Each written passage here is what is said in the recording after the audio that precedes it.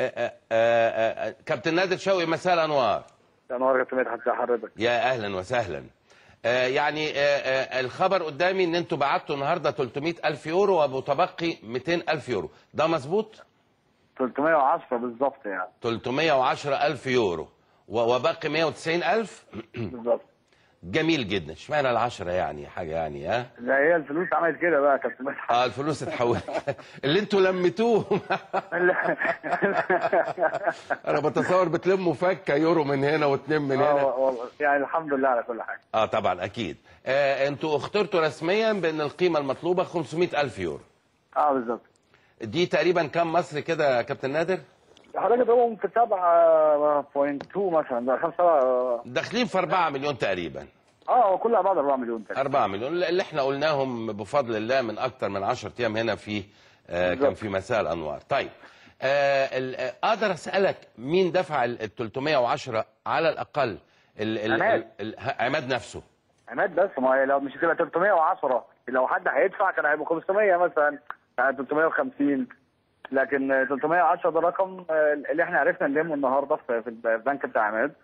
وهو اللي بيدفعهم من جيبه الخاص. وهيدفع ال 190 الباقيين من جيبه الخاص برضه. الله. أمال كان في خبر طلع إن في بعض رجال الأعمال آه، تبرعوا بال- بالرقم ده وإن هم تعهدوا بيه؟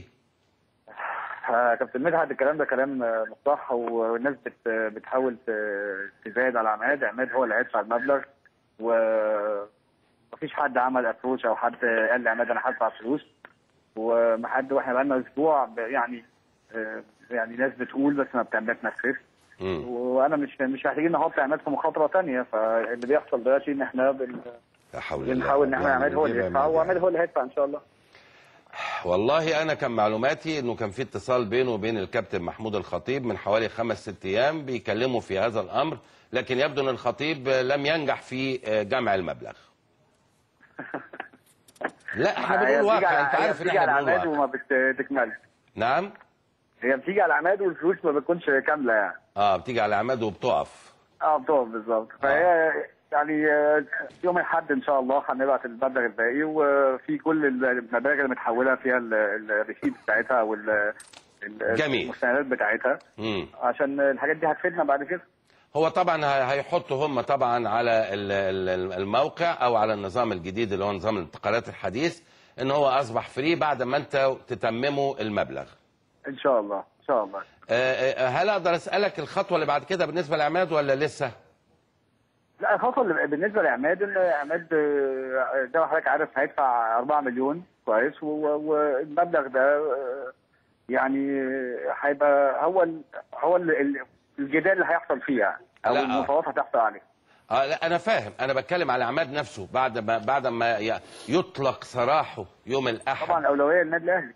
الأولوية للنادي الأهلي. طبعا آه. بالظبط بالظبط يعني في في حوار ولكن هل هل في إمكانية إن هو يروح يلعب في الكويت لغاية؟ لأن الكويت لا مفتوح فيها. مدحت، الكلام ده مش صح لا. غير صحيح. زي زي ما أحمد فتحي عمل قبل كده. لا غير صحيح لأن عماد بقاله كتير ما لعبش. وأنا شايف أو هو أهم حاجة إن هو يقف على رجليه ويبتدي يتمرن تاني عشان يبقى جاهز يوم واحد واحد. تمام. يعني إذا من, من, من هنا حتى يناير عماد في في مرحلة استعداد بدني. وفني. بالظبط يا سيدي أعطني حريتي أطلق يدي. إنني أعطيت ما استبقيت شيئا. أخذ منه الأربعة مليون لم يستبقي شيء في حساب البنك بتاع عماد. أشكرك يا كابتن نادر. شكراً. جزيلا. شكرا جزيلا. هل من تعليق؟ لا أنا يعني عماد يتحمل نتيجة غلطه.